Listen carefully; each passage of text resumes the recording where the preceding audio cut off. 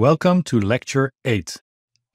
In this video, we're going to clean incorrect values from the dataset. After we have normalized the dataset in the previous video, we can identify new problems. For instance, in the air temperature column, we see a few missing values, indicated by null. For the soil humidity, we see also a few strange values that are out of the expected range, between 0 and 100%. And for the ambient light, we see a value that does not correspond to a floating point data type, but to a string value. In addition, while maybe not strictly cleaning, we see that the timestamp is given as a Unix timestamp and we might want to change this into a column with a more human readable form. So first, how do we remove missing data? With Danfo.js, we can select a series of the data frame using the column name. So we have a series ds that we get from df.airTemperature. And we preprint it in the console, we see this data series, including the null values. We then can easily call the method dropNA to drop all the null values from this series. If we print the series that we get, then we see that rows 4 and 8 are missing. We have now cleaned the series. Something similar we can do if the data type is incorrect. So for the ambient light, we want to remove the sixth row with the error message. We do this by forcing the ambient light series to be of a certain type, for instance float 32, a floating point number. Whenever this conversion fails, it will turn into another number value. We can then use the dropNA method in the previous slide to remove this row of data. What about the data that is out of bounds, out of the expected range? That's a bit more complex. What we want to do is filter all the valid rows from the soil humidity. In this case, we select from the series ds all the values that are greater and equal than 0, that's the GE, and at the same time it should be lower or equal than 100, that's the LE method. The result, we force it to be a boolean so that for each row we get a true or false value. If the value is true, then it's an in-range value. If it's false, then it is out of range. We can now use the loc method on the data frame to select only the rows where the value is true, which are valid. That's given here. And then the end result will give the series with the rows 2 and 3 missing, the ones that are out of bounds.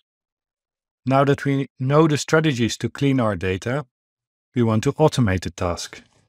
And we will use the data dictionary to do this.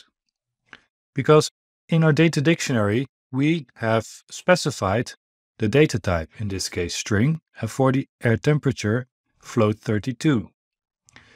Since we do this for every field in our data set, we can use this type to force the data to be in that series to be of this type. Similarly, we have to find a valid range for each of the fields in our data dictionary. For the temperature, for the humidity, and this means that we can also use this valid range field to automate the task of cleaning the data. So in our Strawberry data utils file, we now create a new method clean data. This first calls the ensure data structure method that we created in the previous video to ensure that the data is normalized. Then we put it into the Danfo data frame and we add this extra column to create a human readable date. After that we want to do the automated cleaning tasks.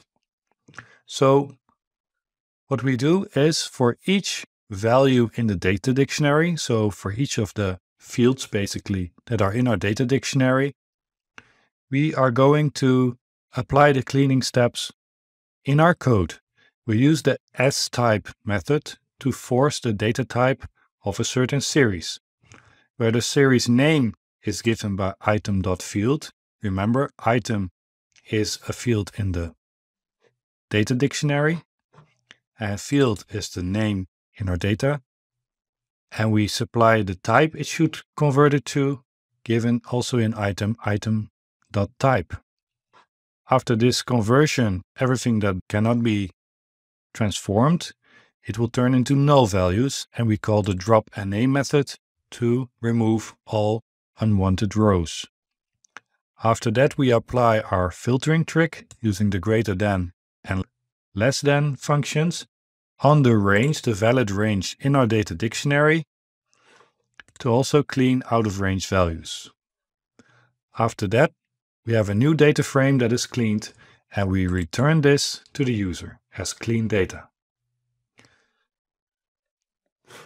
In the Strawberry Data utils, we then add this clean data to the exported list of functions so that we have an extra method in our data cleaning library.